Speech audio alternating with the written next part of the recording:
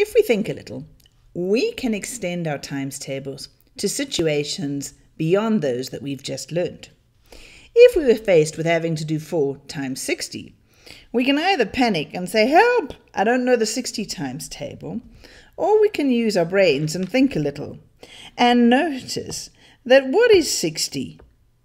If we think about it, 60 is just made up of 6 times by 10. And so we can use our 6 times table.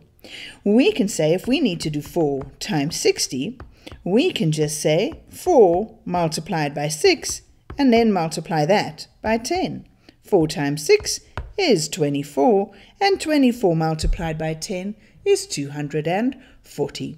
So knowing our 6 times table with a little bit of thought means we can do our 60 times table too.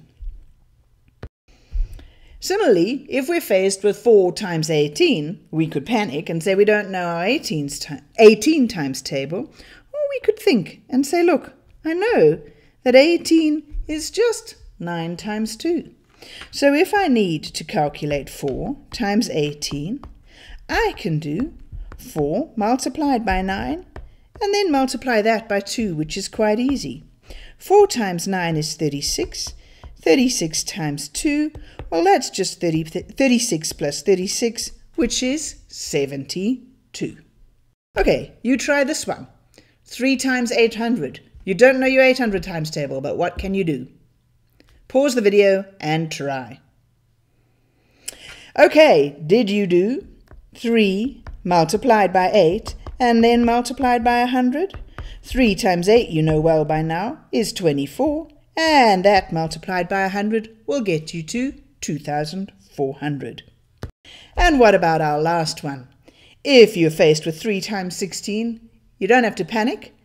What can you do? Pause the video and tell us what you think. Did you do this? 3 multiplied by 8 multiplied by 2, because 8 times 2 is just 16. So 3 times 8, you know well, that is 24, and 24 times 2 is equal to 48. So 3 times 16 gets us to 48.